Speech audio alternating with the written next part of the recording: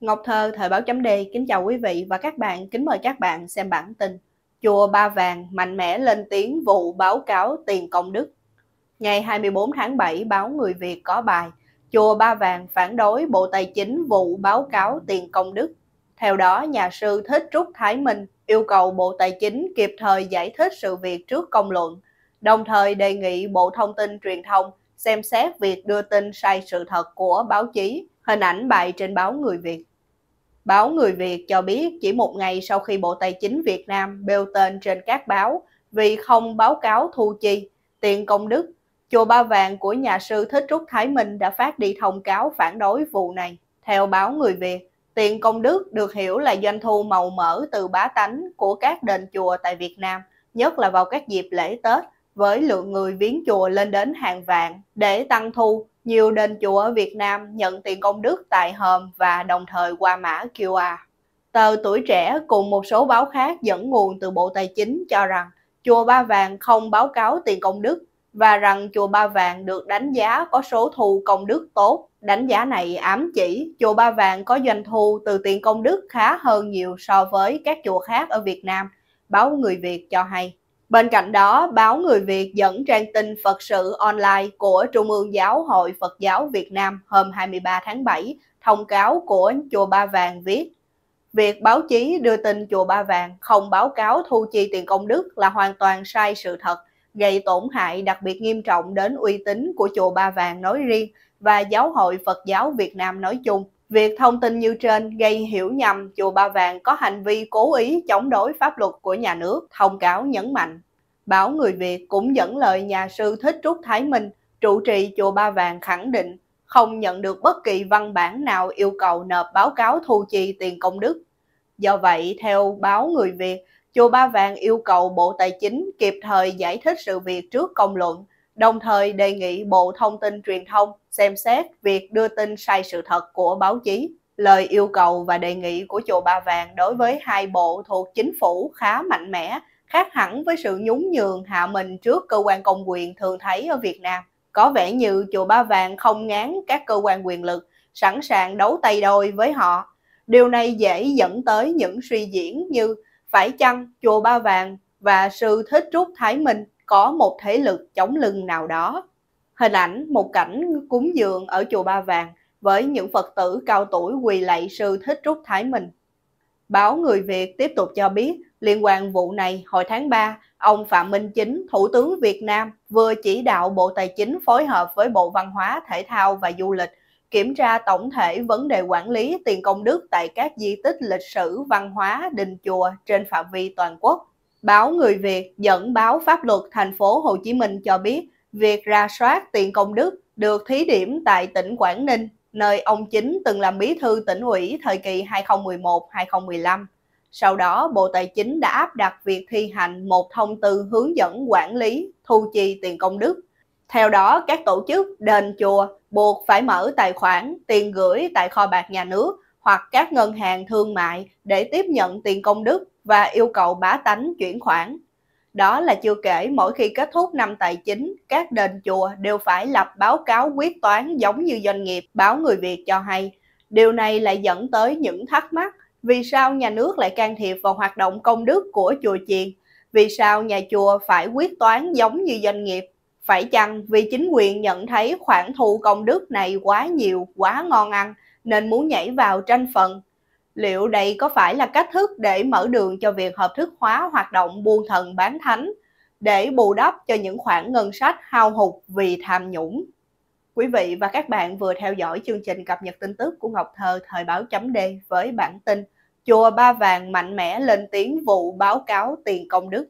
Bộ Quy tắc ứng xử trên Biển Đông COC khó thành hiện thực. Theo thông tin phân tích từ một bài bình luận đăng trên AFA ngày 22 tháng 7, Trung Quốc và ASEAN vẫn sẽ chưa thể thống nhất về bộ quy tắc ứng xử trên Biển Đông sớm. Bài viết của tác giả Dương Tiến Thu, hình ảnh bài viết trên AFA. Theo đó, bộ quy tắc ứng xử này đã được các nước ASEAN ấp ủ từ cuối những năm 1990, khi có những căng thẳng trên Biển Đông bắt đầu bùng phát với xung đột giữa Trung Quốc và Việt Nam ở Gạc Ma năm 1988 và xung đột giữa Trung Quốc và Philippines trên bãi Vành Khăn năm 1995. Ý tưởng này của ASEAN nhằm ngăn chặn những căng thẳng đang gia tăng ở Biển Đông, không để biến thành những xung đột quân sự ở đây. Tuy nhiên, cho đến năm 2002, ASEAN và Trung Quốc chỉ có thể ký tuyên bố chung về cách ứng xử trên Biển Đông DOC. Văn bản này chỉ đơn thuần mang ý nghĩa như một tuyên bố chính trị. Điều đó cho thấy ASEAN đã không thể khiến Trung Quốc ký kết một văn bản mang tính ràng buộc như họ mong muốn. Theo AFA, mới đây tại Jakarta ngày 13 tháng 7, trưởng ban đối ngoại trung ương của Đảng Cộng sản Trung Quốc Vương Nghị cùng với các ngoại trưởng của các nước ASEAN đã đồng ý cố gắng kết thúc việc đàm phán Bộ Quy tắc ứng xử trên Biển Đông COC trong thời gian 3 năm tới. AFA dẫn lời các chuyên gia cho biết tiến trình đàm phán COC đã không có bước tiến nào từ năm 2002 đến 2011 cho đến khi Philippines khởi kiện Trung Quốc tại tòa trọng tài theo phụ lục 7 của UNCLOS vào tháng 1 năm 2013 Bắc Kinh mới đột ngột dành sự quan tâm trở lại cho cuộc đàm phán COC. AFA dẫn lời bà Lê Thu Hường, nhà phân tích cấp cao làm việc tại Viện Chính sách Chiến lược Australia, nói Trung Quốc đã sử dụng viễn cảnh đạt được COC như chiếc chén thánh để lôi kéo khu vực. Quá trình kéo dài đàm phán đã khiến các nước trong khu vực phân tâm, trong khi Bắc Kinh không ngừng củng cố mục tiêu chiến lược của mình. Tác giả nhận định trong bài viết này rằng tiến trình đàm phán COC bị kẹt bởi hai vấn đề lớn. Thứ nhất, nhiều quốc gia ASEAN, trong đó có Việt Nam, muốn ASEAN phải xem COC là văn bản ràng buộc pháp lý để kiềm chế Trung Quốc. Nếu Trung Quốc vi phạm, ASEAN có thể mang tranh chấp ra tòa án quốc tế, thế nhưng Trung Quốc lại không chấp nhận.